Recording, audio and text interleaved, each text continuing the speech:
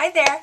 Um, today I am going to do this eye look for you. Um, I'm calling it Sunset Eyes. I use a couple of different brands. I use MAC, I use uh, NYX products. Um, but yeah, I'm going to do this eye look. It's just a gold and um, kind of cranberry just sunset look. Um, I think it's very pretty and it's kind of um, more of a wearable kind of colors to use um, for like a sunset look. It's just a nice blend of just really warm um, kind of shimmery colors, um, very much like glowy, you know, it's like it's like a warm glowy look, which is what you want from a sunset, what you see from a sunset is, you know, your pinks and your golds and your purples, so I just tried to do a look like that, so if you're interested in seeing how I did this look, stay tuned.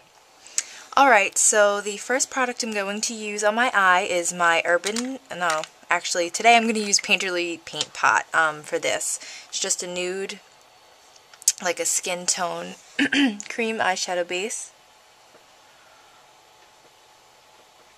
Just apply that all over your lid and up into your brow bone and then whatever you have left over in your finger just bring underneath because we're going to have color underneath on our bottom lash line there. First color we're going to use is a really light shimmery golden color from my Physicians Formula Shimmer Strips and Waikiki Strip. Um, we're going to use this second color from the top. It's the light golden color. And I actually am going to use this color wet um, just because it, it gives a little more pop and I usually use Fix Plus, and then lately I've been using the Evian spray, but I'm out, so I'm just going to use water. So I'm just going to use a small um, eyeshadow brush and just get the tip of the brush wet, and then just kind of dab it off to get the excess water off so that the brush is damp. then I'm just going to take it and run it across that light gold color.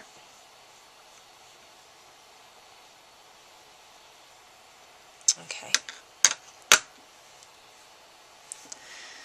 I'm going to put this color on the inner corner of our lid. Got your light gold color, just clean off your brush. I'm going to use pretty much the same brush for this whole eye look. Um, and then on the outer corner of our lid, I'm going to use a copper shade. Um, the shade, you can get any kind of copper shade from any brand you want, um, but I have a really nice copper shade in my Milani Runway Eyes palette, and I think this is Whoops. This is the Catwalk Eyes palette. Um, these are really just shimmery metallic shades. I'm going to use this copper shade right here, the second one from the bottom. And this one I'm going to use dry. I'm not going to use this shade wet. Just load up your brush,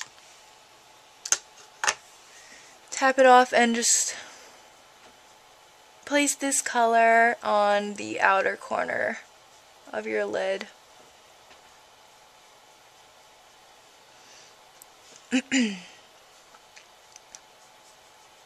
this color blends really nicely with the gold. It's just a warmer, um, copper is just like a warmer version of gold, so it, it's a really nice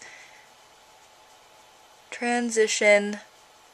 And I want to keep everything in this look really, really blended, so I'm trying to use colors that complement each other and similar colors because um, in a natural sunset, the colors colors just blend flawlessly and they're beautiful. So I'm trying to keep everything really blended like you would see in a sunset. And just take the brush and kind of just feather it out in the middle where the two colors meet. Um, Alright, so for our next color, I'm going to use a NYX color, and it's called Rust.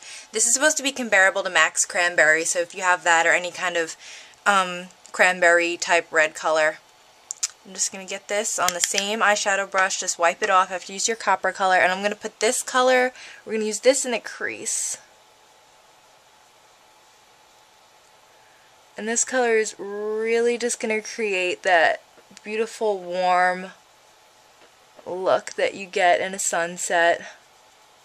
Um, for To deepen up our outer corner here, I'm going to use a MAC color. This is Sketch. It's just a plummy um, purple plum color and it's got kind of red sparkles, or not sparkles, but shimmer to it. So just load up your, uh, I'm going to use my Essence of Beauty Fine Crease Brush. And I'm just going to place this in, I guess, your outer V area. And kind of blend it up in your outer corner here just to give you depth. Just use that gold as a highlight and then just blend out the edge of that red shadow so that it's not so harsh because um,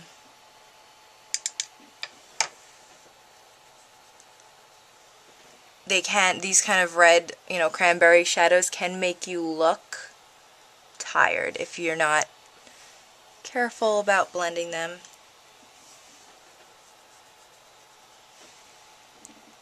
Okay, um, next I want to, like you, I don't know if you could see, I did on this eye, um, I brought that light gold, gold color underneath, and I brought it underneath in a really, like, concentrated, like, pop of a color. Not, it's, usually when I do this, I'll use an angled eyeliner brush, but I'm actually going to use a sponge tip applicator, and I'm going to use it wet, so just get the tip of your sponge tip applicator pretty wet. Um, again, just dab it off so that you get the excess water off and then I'm just going to run it through that light gold color again that we used.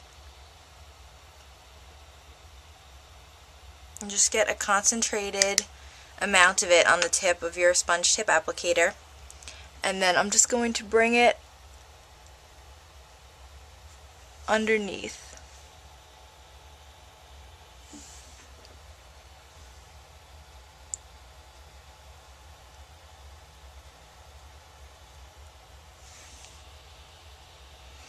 And using this shade, you can use these shades um, dry. I do use these shades dry as eyeshadows a lot for a more sheer, like natural kind of glowy look. Um, but these shimmer strips come off really nice when you use them wet like I am now. They just come out like more of a nice intense color.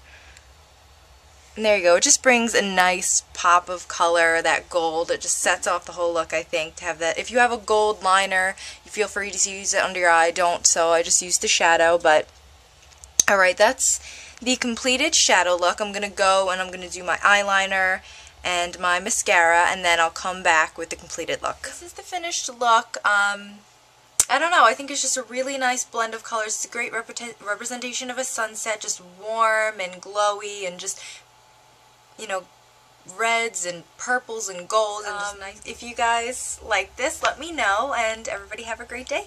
Bye.